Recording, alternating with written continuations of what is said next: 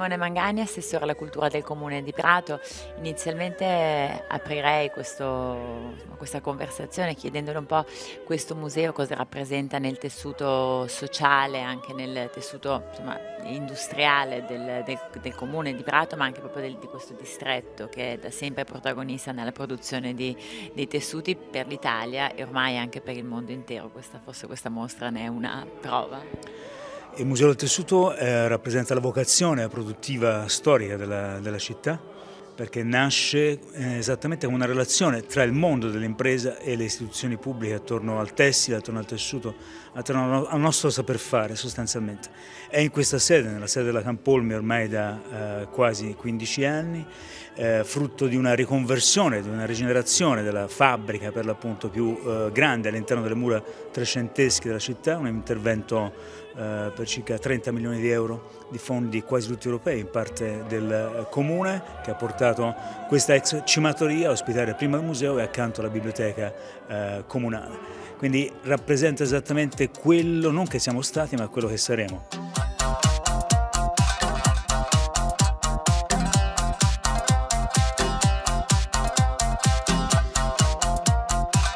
L'idea di, di, questo museo ne abbiamo poi ampiamente discusso in conferenza stampa con diversi, diversi esponenti, come, come, nasce, come viene sostenuta con anche un importantissimo patrocinio da parte dell'ambasciata del, del Giappone in Italia. L'ambasciata patrocina questa mostra, patrocina Kimono, eh, collabora anche attraverso il consolato di eh, Firenze, quindi rende eh, la mostra a tutti gli effetti non soltanto un fatto della Fondazione Museo del Tessuto e del Museo della Moda e delle Arti Applicate di Gorizia, che è l'altro ente che ha eh, prodotto la mostra, ma rende evidente che questo lavoro ha un riconoscimento da parte di eh, chi in realtà ha originato questa mostra, perché questa mostra è un omaggio alla cultura giapponese, al tessuto giapponese, soprattutto in riferimento ai primi 20-30 anni del XX eh, secolo.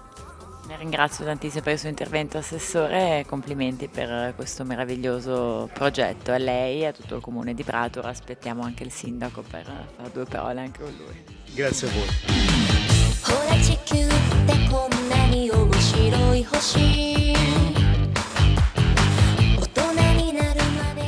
Noi oggi anche il sindaco del comune di Prato in occasione di questa bellissima iniziativa, un'iniziativa che dimostra il dialogo tra il nostro paese, tra la città e il distretto produttivo di Prato e il paese del, del Sollevante. Il, il, Giappone è un paese che da sempre esercita un forte fascino sull'Italia, ma eh, ne approfitto per chiederle se anche l'Italia e una città come Prato, un museo come questo, con il patrocinio dall'ambasciata, quindi insomma con tutti i riconoscimenti del caso, esercita una certa attrattiva verso un pubblico internazionale. Sì, noi lo speriamo, cioè questa è una delle tante tappe diciamo, che questo museo ha compiuto nel corso del tempo, proprio avvicinarsi al mondo della moda e di tutto quello che ci gira intorno. Eh, questa è una mostra che in particolare parla del Giappone, come abbiamo avuto mostre che parlavano della Cina, come abbiamo avuto mostre che parlavano del, dell'Inghilterra, della Swing in London, come abbiamo avuto mostre invece che parlavano degli grandi, dei grandi firme della nostra moda italiana,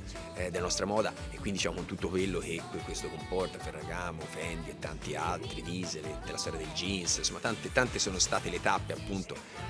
che, che, ci hanno portato ad essere il Museo del Tessuto come un museo di riferimento da questo punto di vista. Speriamo che questa mostra appunto contribuisca, grazie anche appunto, come si diceva, all'accompagnamento dell'ambasciata giapponese, al Consolato Generale di Firenze del Giappone che ci sostengono, diciamo, a irrobustire ancora di più una relazione che già esiste, sia tra le nostre imprese, sia dal punto di vista culturale, fra, fra il Prato, la Toscana, il Giappone e tutti i turisti, i tanti turisti che visitano eh, le nostre realtà eh, costantemente, a partire ovviamente da Firenze.